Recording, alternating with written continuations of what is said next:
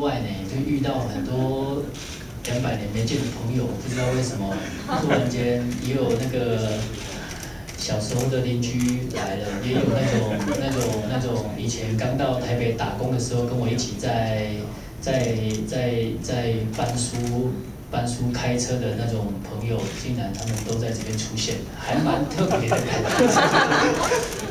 我甚至不知道他们，我甚至不知道他们已经人在这个地方了。原来都以为说他们应该在在台湾的不知道什么地方才对。没有像他们说，一每个人都说来这边已经快二十年了，十几年、二十年了。我说哇，天哪，原来我那么老了。导演，卡诺的电影发行，海外有没有机会看到？